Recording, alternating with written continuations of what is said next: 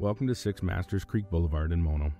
Prestigious newer bungalow, built in 2011 in the beautiful Cardinal Woods, offers a gorgeous open concept with a walkout from kitchen and basement to a 0.5 acre lot.